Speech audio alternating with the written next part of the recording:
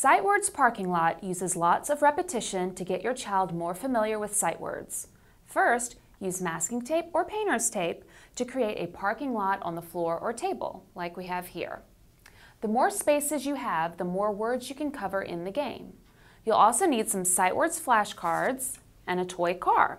If your child doesn't like cars, you can use a toy horse instead and call it the barnyard game, or you can use an Elsa doll and call it the frozen game. You can be creative. Then you introduce the game to your child. We are going to play the parking lot game. I am going to say a word and then you find the word, read it out loud for me, and then park your car on top of it. Ready? Find the word open. When the child finds the word, they should drive the car over to that space and read the word out loud. Open. If they say it correctly, then they can park the car on top of the card.